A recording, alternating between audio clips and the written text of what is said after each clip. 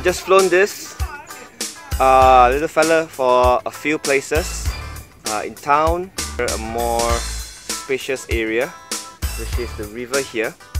And I got a few conclusions and review of this little fella. But first, let's take a look at some footages.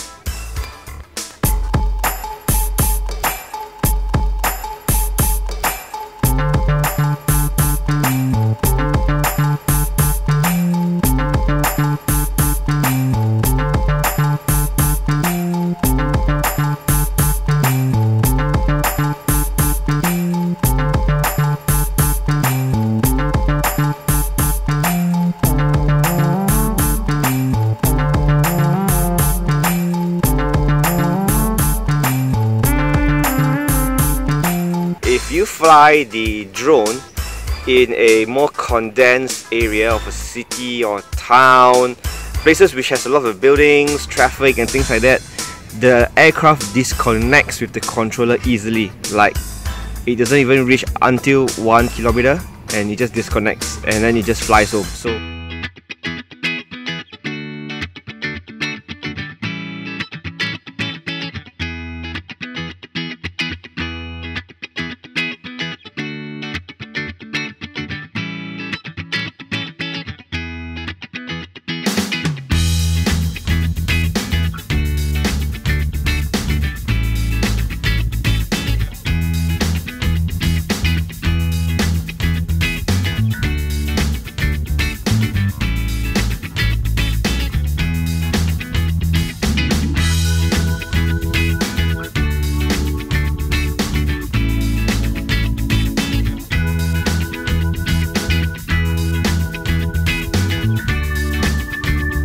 Second point, you need to have an OTG to T or OTG to micro USB, especially if you're using an Android phone. I haven't tested with an iPhone yet, but if you're using an Android phone, you definitely need this because it just disconnects easily again. Uh, this gives a more stable connection between your screen and the remote controller and uh, you don't have to worry about that because that's secured. So the only thing that can disconnect is the aircraft and the remote controller. So that's the second thing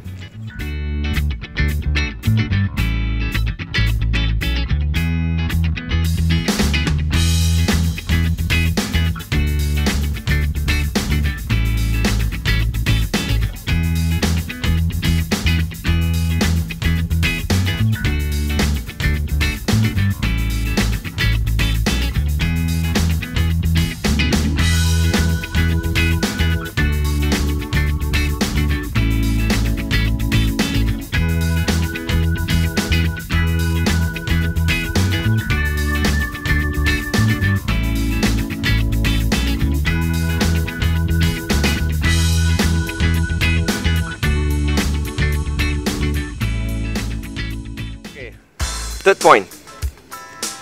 Um, after flying a few rounds, you need to fly sport mode.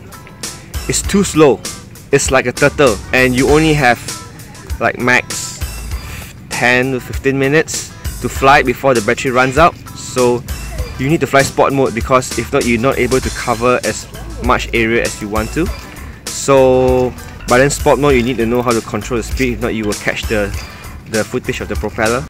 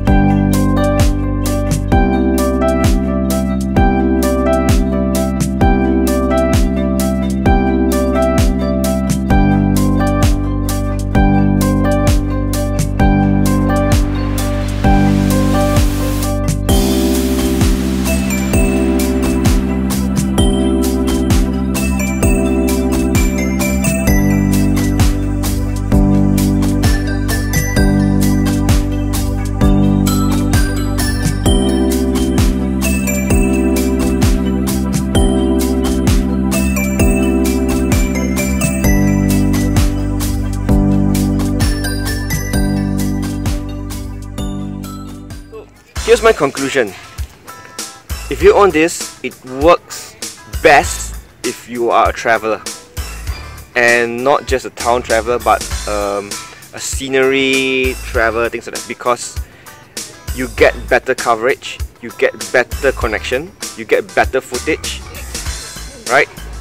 If you do not really travel and you're just a city folk having a hobby you might be frustrated at amount of coverage that you can cover the footages the disconnectivity and things like that. And it's and it's just a white elephant sitting there. So here's my conclusion of the DJI Spark other than that I love the controls. It's very easy to control. They do not have too many buttons. That's what I like. Um, and the footages are okay. Of course it's not 4k but it's okay. Get it? Yeah so here's what a few things you should consider if you want to get a DJI Spark in the future. See you guys